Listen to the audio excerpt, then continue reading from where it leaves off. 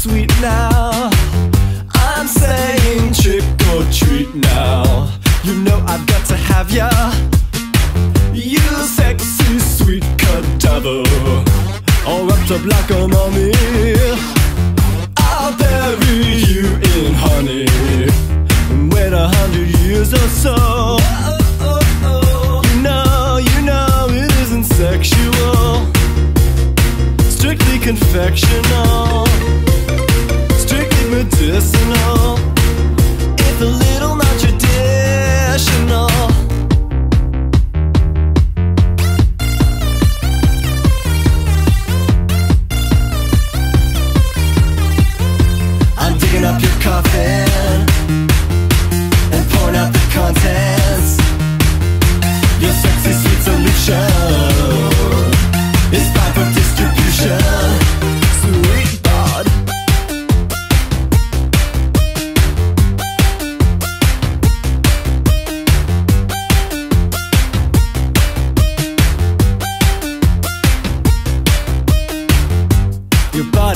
body rumors of mason jars of sweetness.